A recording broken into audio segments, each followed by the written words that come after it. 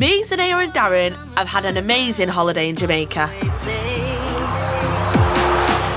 We split up three months ago, but we came here to spend time together as a family.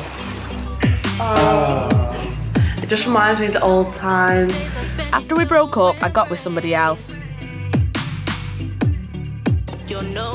But now I want to get back with Darren. So far, he's not giving me a second chance. I just hope he can forgive me. Because I just feel so bad and I actually do want to change my ways and I do want to be a good girlfriend.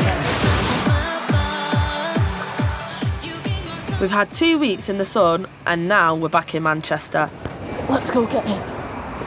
Before I get home, I need to tell Darren again how I feel. Are you tired? Did you have a good time with us? I did. Are you going to miss us? Well, I'm not going to miss you, no. I'll miss you. Darren. Will ya? Yeah. This holiday's actually made me realise I actually do love you, Darren. And I'm sorry.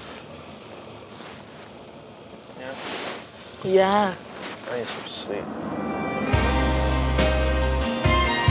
I know you're saying that like, you miss me and you can't wait and this and that, but I, I just feel like I'm not over it yet.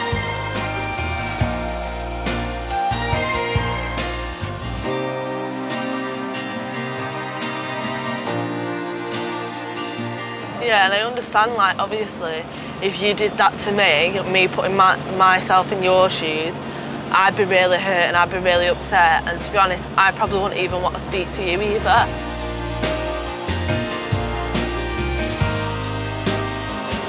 Like, what? I'm, I'm sorry, and I know that it's going to take you a long time to forgive me. But all I'm, all I'm asking is for you to actually forgive me in the long run because I am so sorry. And I would actually do anything to prove to you how sorry I am.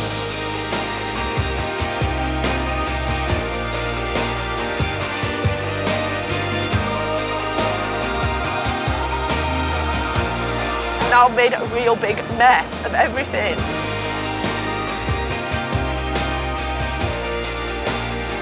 All I can try and do is rectify my mistakes because I generally am sorry. I'm devastated that Darren won't forgive me. Because I'm desperate for us to start again.